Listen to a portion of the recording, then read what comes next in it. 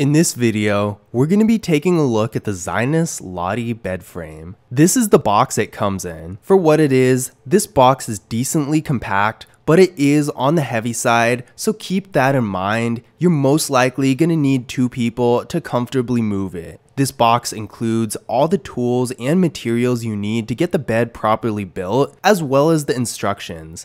The instructions are really straightforward, and this bed frame can be built by one person, and it doesn't take a whole lot of time.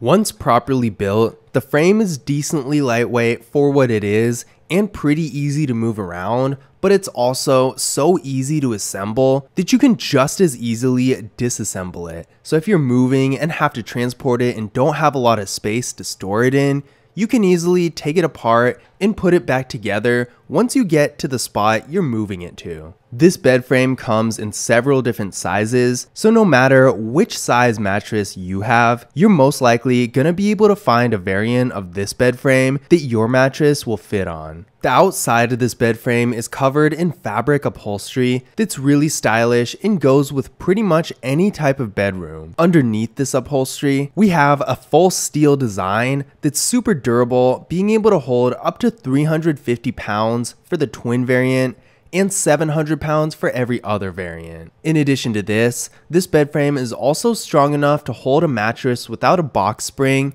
so you won't have to worry about buying one of those and setting that up too. Underneath the bed frame, there's about 6.3 inches of clearance, which isn't a ton of space, but it is enough to hold a few smaller items or maybe a few flatter boxes. Another nice feature this bed frame has is the headboard. This headboard is also covered in the same fabric upholstery as the other parts of the bed frame, and in addition to this, it has foam padding in the front, so it's comfortable to lean on when you're sitting upright in the bed.